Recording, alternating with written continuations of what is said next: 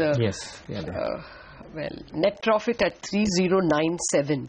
Uh, that's uh, looking a little, just a tad under the weather. Uh, it's uh, 3097 compares to 3250. So that's a about decline. three and a half percent. That's a 4.7% decline that the company has uh, delivered. It's missed our expectations by about 64, 65 odd crore. So 3097. On the top line, it's uh, 13,411 is what I read. So that is a growth of, uh, that's a degrowth of 2.8% that the company has delivered. So and that too has missed our expectations by roughly 400 odd crores. So revenues and profits, And- not the key parameters to look at, but are marginally lower than street expectations. We're awaiting the key important ones like dollar revenue and margins. Okay, but would not a fall in rupee revenue indicate that there could be a fall? 2159 is what I think the company has delivered in dollar revenue. Well, that is a big miss. So that is uh, lower than street expectations by $65 million. That's a significant amount. It's down 2.6% on a quarter-on-quarter basis. So if that's the dollar revenue, it's significantly lower than street expectations. Um, we were expecting dollar revenues to be flat. So um, this is looking like a bit of a miss. 3449 is what the company has reported in terms of EBIT. So That's those are margins of 25.7%. That's largely in line with street expectations. But again, um, Infy would be the fourth, you know, IT company in a row to disappoint in terms of growth. So focus on the dollar revenue. It's suggesting a degrowth of 2.66% at $2159 million, falling short of our expectations by um, $65 million. So this is not looking good. I think the stock is reacting, Latha. It's down a percent and a half now. Moshe Katri was telling us that 40 cents would do, but he's got 44 cents earnings per share. Uh, well, anyway, uh, Nilesh, first thoughts? Well, I don't think I would read too much into these numbers. They're probably a tad below uh, Yeah. expectations, but clearly I think what one needs to really focus on is uh, what are they going to talk about FY16? What is their outlook for FY16? I think that's going to be very, very important. By and large, Q4 has been weak for most IT companies. That's something which we have seen it. So it's not an Infosys-specific phenomenon. It's something which has really happened with the industry. So to that extent, I don't think we should focus uh, a lot more on the Q4 numbers and the fact that they've missed it by you know 2% or so. I clearly believe the But focus actually, should be is a bit of a disappointment on all fronts. Uh, yeah, you might say that this is not okay. Board approves a bonus issue in the ratio one is to one. Uh, so that will be the immediate steroid. Didn't they already announce a Exactly. bonus This- issue? This is a second That- bonus issue. Yeah, Yes, it was I a, think. this was there. They already announced a one is to one bonus issue towards the end. of Educate investors that it doesn't make any difference. Uh, Yeah. Perhaps people will stop asking for bonus because you realize it's not going to make a material difference. Uh, well, uh, these are the initial numbers we have, and they are under street expectations across the board.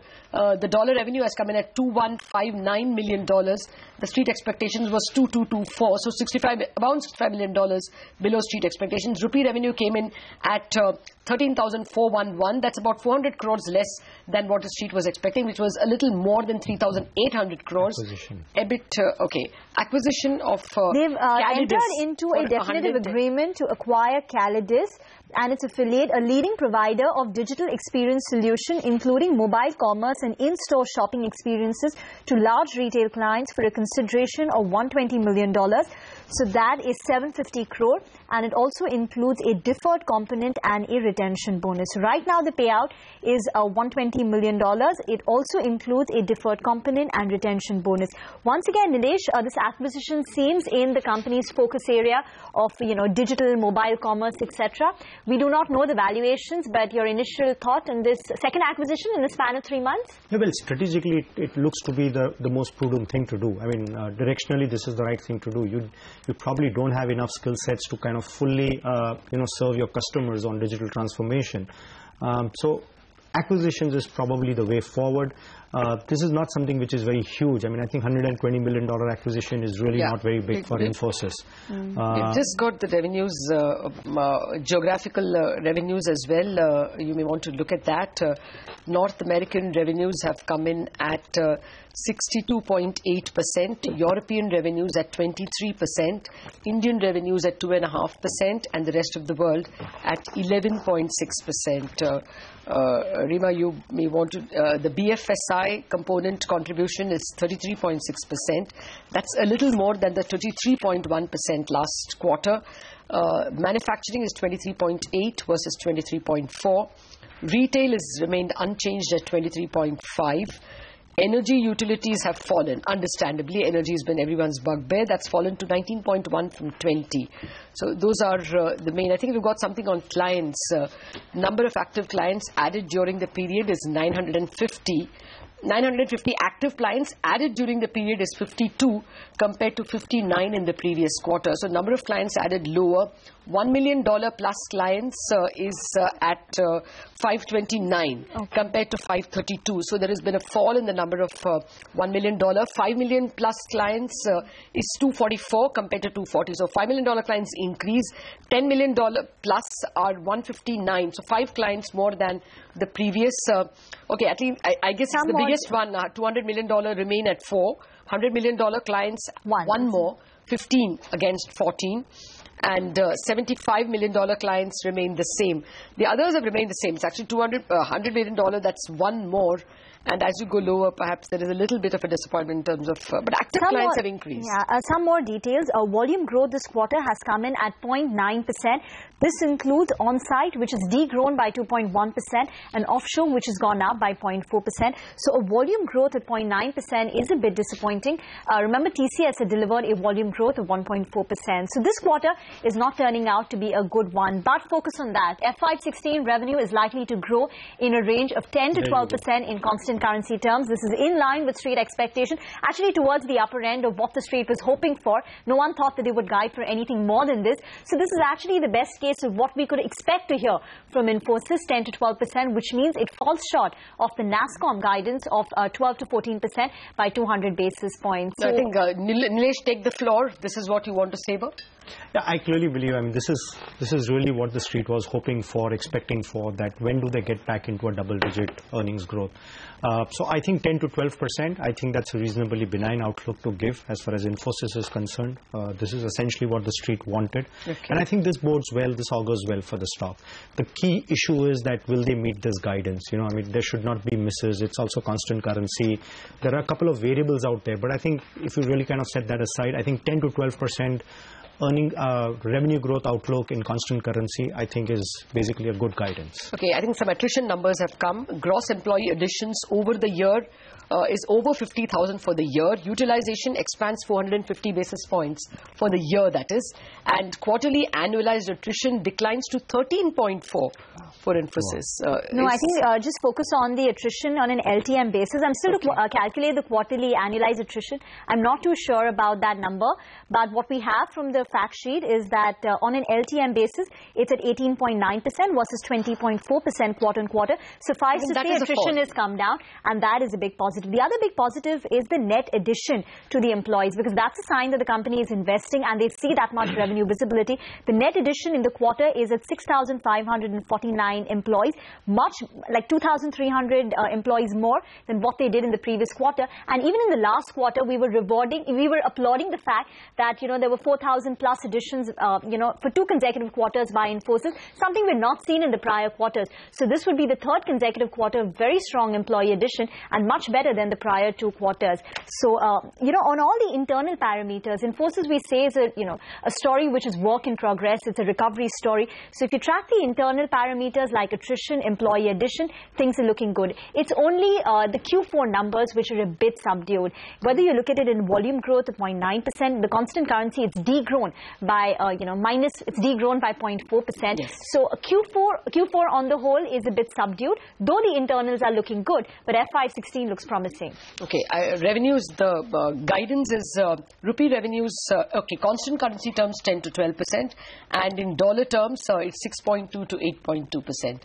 Uh, that's the revenue outlook. anything more you wanted to add? Attrition lower, is that a matter of joy? Well, they seem to be on a path of recovery. You know, clearly the kind of low that they had witnessed a few quarters back on all fronts uh, at least that seems to be a thing of the past. Uh, on operating parameters, they are getting better.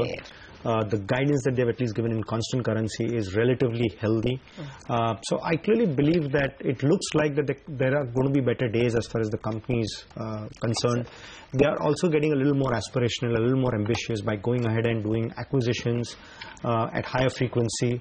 Uh, you know, so I think these are some of the positive things uh, which are really uh, happening for the company. It's not just that they have to deliver on this guidance. I mean, you know, I, I just hope that there aren't any misses in terms of the guidance. Oh, yes, absolutely. Well, we have uh, Trip Chowdhry of Global Equities also patiently waiting by.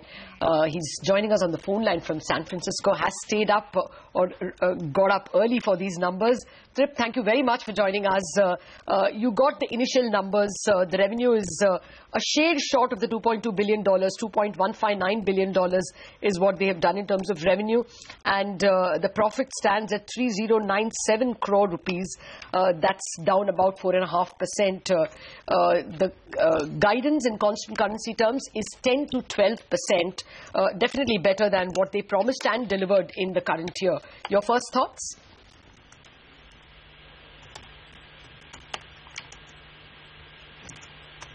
Trip, can you hear me? All right, I think we will get back to Trip in a minute, maybe recheck that line. Uh, well, uh, the uh, current numbers, the numbers for the quarter gone by have been a little soft, but uh, the company has shown a lot of intangible qualities which uh, make for perhaps a recovering story.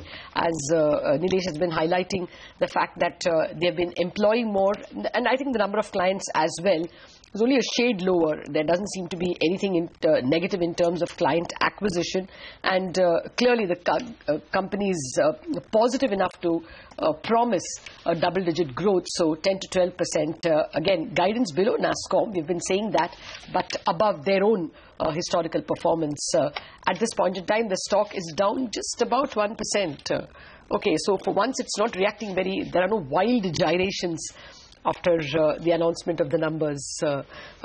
Uh, uh, any thoughts? I think the stock will at the moment not need to uh, react much to the numbers? Yeah, I probably think it will kind of be relatively stable. Uh, I think post the earnings call which they are hosting today and post the media and the press interactions, I probably think that tomorrow would be a more relevant day to watch out in terms of how the stock behaves because post the earnings call today, uh, I think the street and the analysts will have a better handle in terms of what precisely this growth uh, translates into in terms of earnings growth and what their outlook is, not just for one year, but maybe for the next couple of years.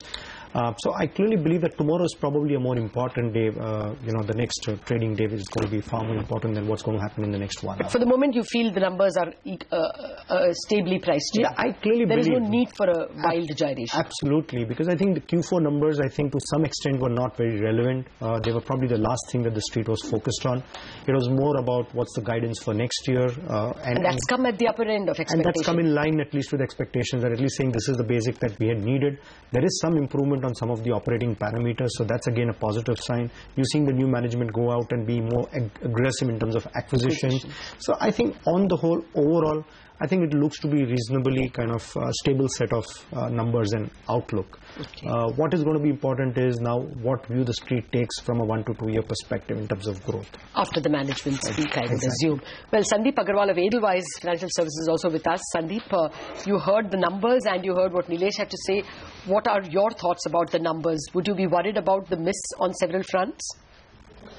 Yes, so the quarterly numbers obviously are below estimate. Uh, we were expecting at, at least flattish to half percent kind of growth uh, in the num in, in dollar terms, implying you know two and a half percent kind of growth in constant currency. But you know uh, the numbers have came at 2.7 percent kind of decline in dollar terms. So it is below our estimate, obviously, and even PAT and margins are also below. But the good thing is that you know uh, the key metrics if you see for instance to start with guidance i think guidance is slightly higher than what we were expecting uh, in fact we were expecting 7 to 9 in term in dollar terms and uh, this looks like slightly higher than that maybe seven and a half to nine and a half, assuming that you know there would be 250 basis point Yeah. kind of impact of cross currency.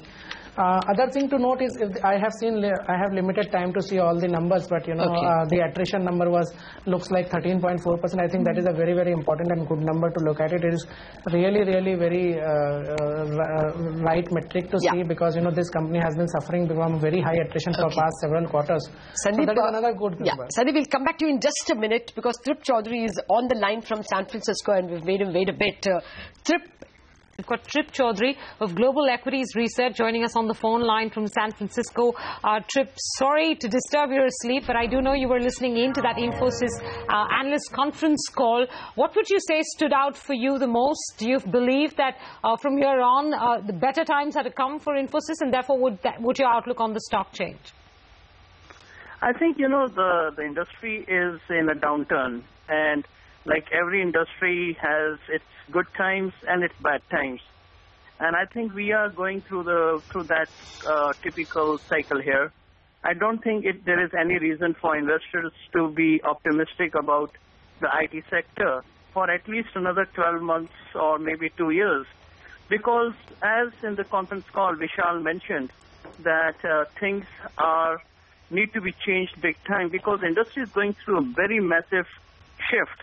And somehow almost every Indian IT services company hasn't reacted uh, proactively to the shift. So I think this is a secular downward trend, but uh, and and we have to live through it.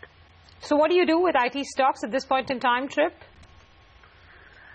I think there's a fundamental problem in the way the various executives are also, you know, talking. Like it is, it is not prudent. Uh, for example, regarding the Infosys conference call, you cannot run the company basically by slogan shouting. It's okay to be a politician, but if you're an executive, you have to talk only on two fronts. Is your focus to gain market share, or is your focus to gain to to to improve your profitability? You cannot do the both things. And if you looked at the conference call, to me it looked like a complete confused company. And it's not only Infosys, almost every Indian IT services company is looking like a like a dumb company because when things are good, an idiot looks like a genius, and when the things do bad, look bad and things turn bad, these guys are totally clueless. So the only suggestion I have is it is very important for to think not in terms of companies or stock. India is going through a very critical uh, phase, and I think what needs to happen is we need to make sure Indian companies are focused on market share and land grab, and they should do away of thinking in terms of profitability because that is very important. If that doesn't happen, we could see 50, 60 percent layoffs in this whole IT services industry, and that would be a serious economical headwind to the country as a whole. And these companies are unable to understand the gravity of the situation. Uh, they're trying to focus on profitability and quarter to quarter stock movements, and that is the reason none of the Indian IT services companies are able to reinvent themselves. All right, Trip, you do sound extremely disappointed in the sector and especially from what you heard of uh, from Infosys today. But we'll leave it there. I know it's a late hour for you, so we appreciate you joining us at this late hour.